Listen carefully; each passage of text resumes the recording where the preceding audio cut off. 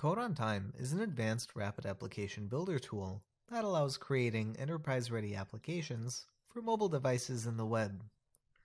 While it's not required, the first recommended step to build your next great app is to have a database.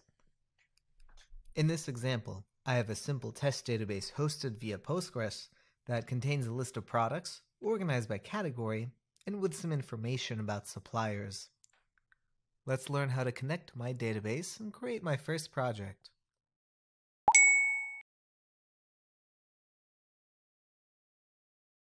In order to connect to Postgres, we'll need to install the Npgsql Provider component on our application host. We'll navigate to the Npgsql homepage. Click on the Npgsql tab and navigate to Installation. In this case, we'll need to install into our Global Assembly Cache, or GAC. We can follow the provided URL to the Releases page. Due to a regression in the latest version, we'll go ahead and download version 4.0.10.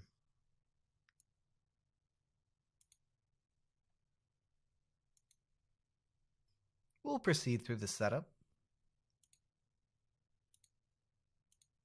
Make sure to enable the GAC installation option. Once the connector is installed, we are ready to build our first app.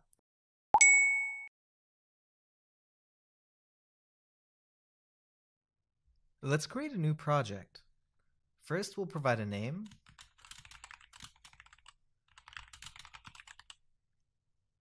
go ahead and press Create. And let's connect to the database on the next page. We'll select the Npgsql provider and click on the three dot button. We'll connect to localhost, enter your database name, and your username and password.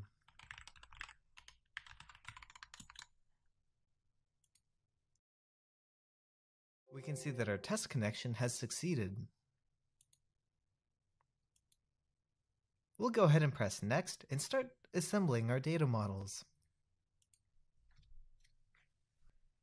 These models represent how the database schema is going to be perceived by the app builder and is used to compose a set of controllers, views, fields, pages, and other elements. Let's start with products. You can see that foreign keys will be followed, and they'll pick up the first required string field as an alias for the lookup. We can go ahead and borrow additional fields from reference tables. In this case, let's grab the city and country for the supplier. We can go ahead and rename a field, or change the label. In this case, supplier company name is a little bit long, so I'll stick with the label supplier. We can also create calculated fields by clicking the plus SQL icon, providing a name, and specifying our formula. In this case, we'll multiply unit price by units in stock.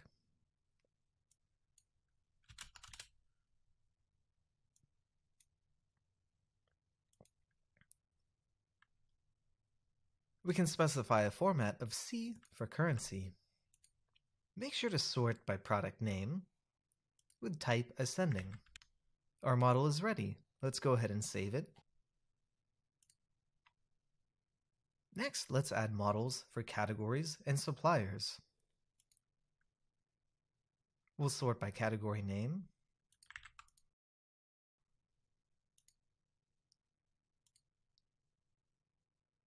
and we'll sort by supplier company name.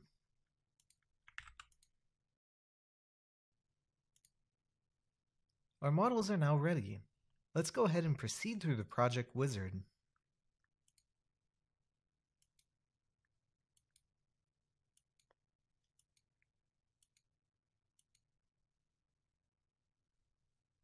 Go ahead and press Generate. After a few seconds, the app will be started via IIS Express and will open in your default browser. We can navigate to the products page. We can now start adding products to our database.